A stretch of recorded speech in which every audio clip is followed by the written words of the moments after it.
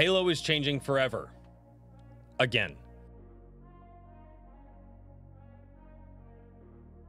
For those of you in the know, you would know that 343 Studios made the announcement the other day that they're changing their name from 343 Studios to Halo Studios and switching to the Unreal Engine.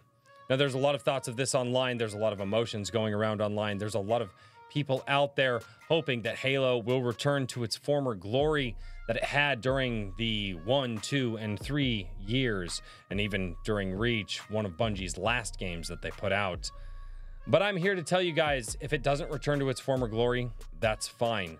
However, in order to talk about this, I think it's important to lay down some certain points that Halo will never be the same.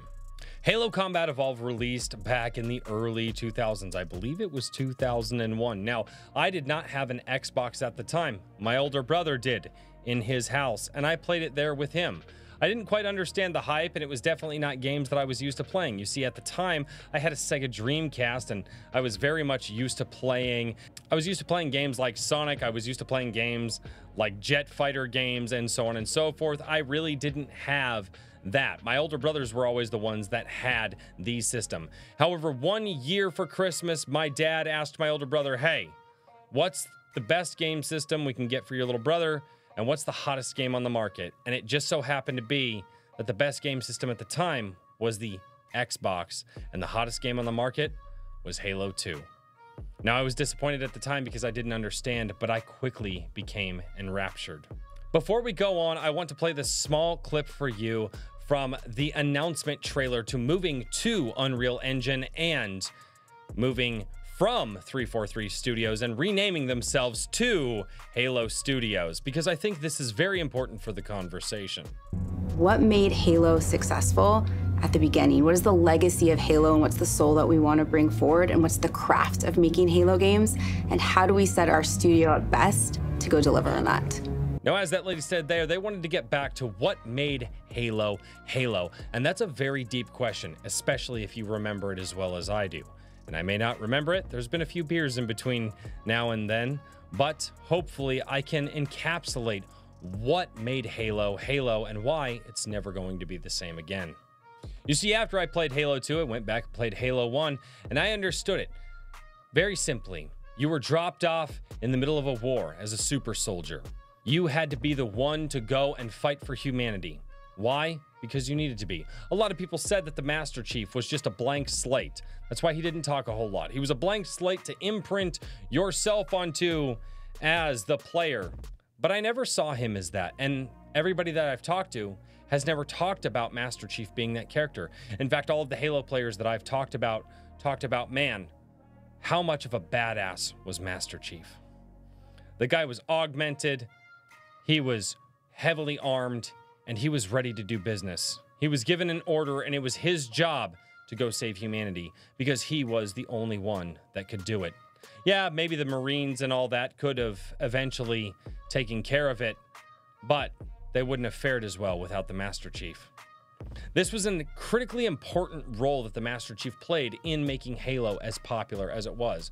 You see, he wasn't really a character that young men could imprint themselves on, but instead, he was a character that young men went, I want to be that guy. That guy is so awesome. The things that he does. And in a quick example here, it wasn't the player character that went and gave the Covenant their bomb back. It was Master Chief. That's right. Some of the greatest moments in the Halo franchise were not moments where you controlled Master Chief as the player character, but some of those cutscenes where you actually got to see Master Chief act and you went, man, how awesome is this guy?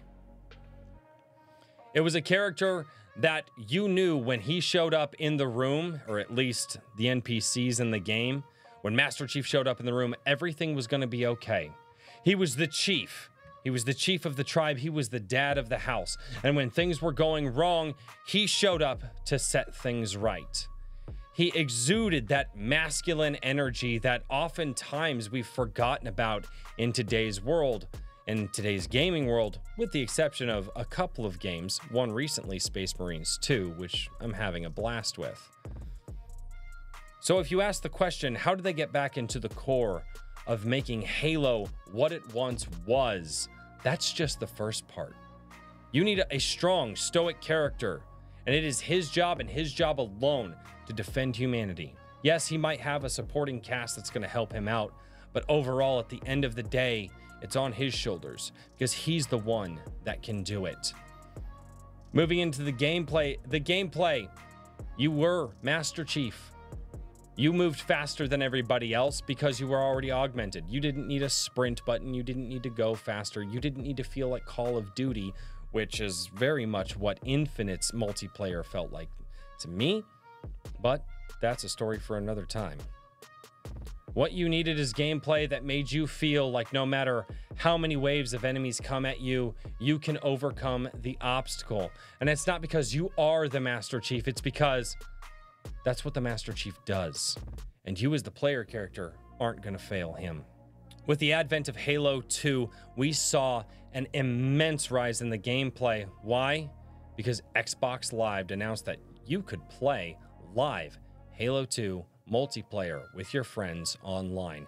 That absolutely changed the landscape. You see, I've had many conversations over the years with my friends about how Xbox completely changed gaming forever. In fact, I would say, had the Xbox Live service not been as popular as it was, gaming today would be very different because another service, another service, another Sony or a Sega or a Nintendo would have pioneered a live service play, and we would have a very different idea of what live service play is. Obviously, the Sony PlayStation Network came out and it wasn't really that good. They were trying to compete with Xbox on that level. And overall, many players at the time were like, yeah, PlayStation good, but Xbox Live service way better. I was there. I remember this. You're not going to tell me otherwise. It was a phenomenon at the time to be able to talk with your friends over live communication in game. What that was crazy, especially on a console system. We're not talking about a computer that was sitting in your parents' room. We're talking about a console that was in the living room and you were playing it. And not only that, but if your friends didn't have the Xbox and they wanted to play multiplayer with you, you invited them over. You had something that's known as couch co op. That's right, ladies and gentlemen, the good old fashioned couch co op. That thing that brought all of us together. That thing where we invited our friends over. You would plug not one, not two, but four controllers into your Xbox. I still have one upstairs and you would have your friends come in as guests in your lobby and you would go and your four friends could play a multiplayer co op game with you in what was considered one of the most competitive online multiplayer games of the time Halo 2. This is, I'm very much reliving my childhood at this time. As it grew and grew, obviously the excitement for Halo through be- as it grew and grew, the excitement for Halo 3 became absolutely massive, and they made the leap from the regular Xbox to the Xbox 360. The graphics were awe inspiring. That technological jump in graphical fidelity was probably the biggest leap that we have ever done in a console, period. Again, going from the Xbox to the 360 or the PlayStation 2 to the PlayStation 3 was a huge leap in technology, and everybody just couldn't believe it. They then went into Halo 3, absolutely mastered the combat, updated things, gave you shield grenades, gave you other grenades to use. You were the Master Chief, but now you had more tools in the palms of your hands. And you were going to go and do that thing that you did before. You see, Halo became the staple of camaraderie. And not just the camaraderie with your friends over a microphone online, but the camaraderie with your friends in your living room while also hanging out with your friends online. We did that a few times. Oh, hey, he's not able to come up to the house tonight. Why don't you guys come up to the house? Because I have the Xbox. We'll all play and we'll still get to hang out with our buddy. In addition to that, the game was challenging as well. Halo provided a challenge to so many players. Halo 2 on Legendary, it, it, AI absolutely cheated and it sucked, but damn it if it didn't feel good once you were able to complete that. It was so incredible. And then the announcement that Bungie was leaving shortly after they did Reach in 2010. Now, at that time period, 343 Studios takes over, and Halo 4 comes out to middling reviews. In fact, I had friends of mine tell me, hey, Halo 4, eh, it's all right. It's not great. It's all right, but it's not Halo 2 and it's not Halo 3. And then Halo 5 came out, and I heard it yet again. And in fact, I heard, dude, it's worse than 4. And I went, wait, you just told me not to get 4, not to waste my time. And they said, and I'm telling you that 5 isn't what you need. And then I found out later that a lot of what they did is they got rid of the stoic Master Chief and kind of replaced him more with the Master Chief that was more sensitive and becoming in touch with his human side. And then they did some weird things with Cortana and Master Chief that I was like, um, that's a computer program and he's a dude and the internet is a weird place. In addition to that, you were not the Spartan anymore. You were just one of a few Spartans. You were no longer the one and only man in the game that could go out, decimate the Covenant or the Flood. You were just one of a handful. You see, they took what was special about Master Chief, they took what was special about the games themselves by saying, You, as the player, well, you're not playing this special character. And guess what? He's already achieved the highest highs, and now he's just another Spartan. There's a few of them. He's not the only one that survived anymore. Probably one of the worst retcons that, they had ever done when it comes to Halo. All of that being said, I don't think that they're going to be able to recreate what happened in the original Halo. One, online multiplayer, it's not a new phenomenon anymore. It's it's a casual thing that everybody has access to nowadays. That was a huge proponent of why Halo was as massive as it was with the Xbox Live service. In addition to that, they've taken the stoicism away and they've taken the one thing away from Master Chief that made him the Master Chief, that he was the only Spartan that survived. In addition to that, now we're going into Unreal Engine 5 and Unreal Engine 6, 7, 8, 9, 10, 20, 42. Who cares? So now the Master Chief is going to start walking and looking like a lot of other character models in other Unreal games. They're all over the place. You can see an Unreal game. Hell, I know indie developers that are working on the Unreal games. And Nothing against those guys because they're working by themselves to create the game that they want for a fun experience. And I'm going to play them day one because I want to. But when it comes to Halo, Halo is a unique experience. Halo was that experience that you couldn't get elsewhere. It was only on the Xbox. And it was with your friends when we would bring three or four Xboxes over to one house and network TVs together. You see, one of the things that I don't think Halo Studios, formerly 343, is going to be able to do is create the stoic Master Chief yet again. Not only are they not going to be able to create the stoic Master Chief, they're not going to create the one savior for humanity again. Storytelling like that seems to be taboo today. We're not allowed to tell stories like that in modern gaming today, which seems odd. In addition to that, there's a camaraderie factor that Halo 2 and Halo 3 and those old systems had when it was playing online with your friends, or again, inviting friends over to your house and they could play online with you from couch co op in the room. No screen watching.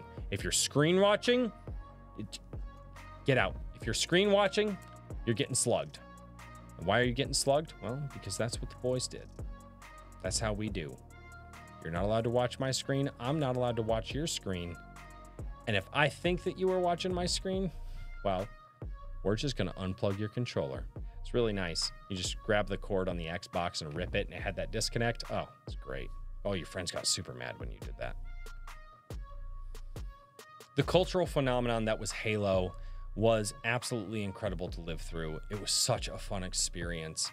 And to be perfectly honest, it's a, it's an experience that Halo cannot do again.